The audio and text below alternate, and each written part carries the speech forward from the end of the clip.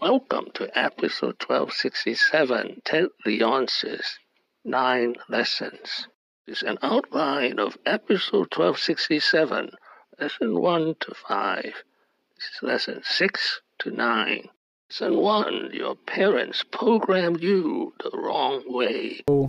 I had been trained, like I'm sure most of you in this room, I was programmed incorrectly. Work really, really hard. Get good grades.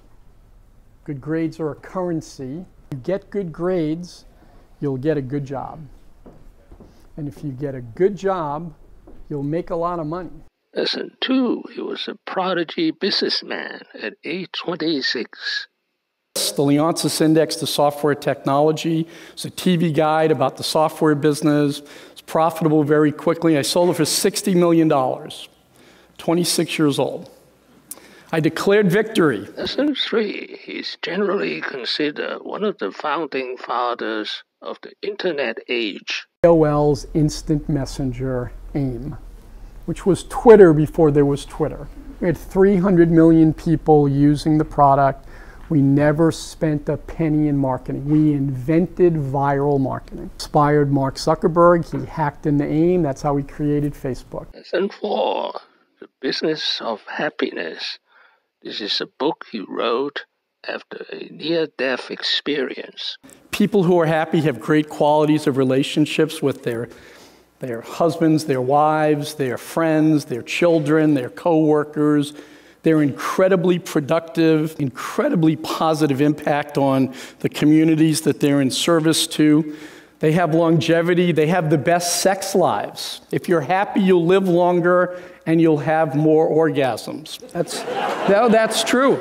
Lesson five invest in double value business but businesses with a double bottom line that can do really well by doing good for people, consumers, or their community. Double bottom line is businesses that um, do well by doing good. Lesson six, what is an entrepreneur?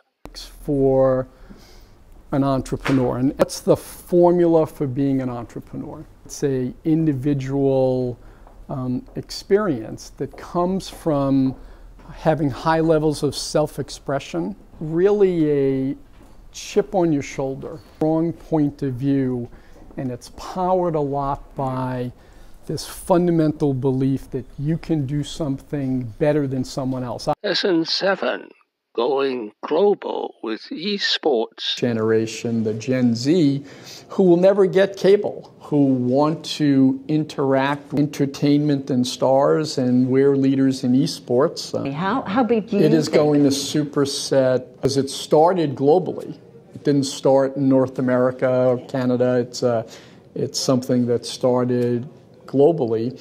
Lesson 8 Diversification into real estate He now owns three sports venues Capital One Arena, MedStar Capital's Iceplex, and Eagle Bank Arena of George Mason University. Lesson 9 From English Major to Tech Giant. And I remember Father Durkin said to me, um, I think this is the first time where liberal arts and technology have come together. A couple years ago, I had one of these goosebumpy moments because I was reading Walter Isaacson's book on Steve Jobs, and they asked Steve Jobs, why is Apple the world's most valuable company? He said, Apple's the place where liberal arts and technology come together. Thank you for watching. Please subscribe and leave your questions and comments below. Wishing everyone peace and prosperity.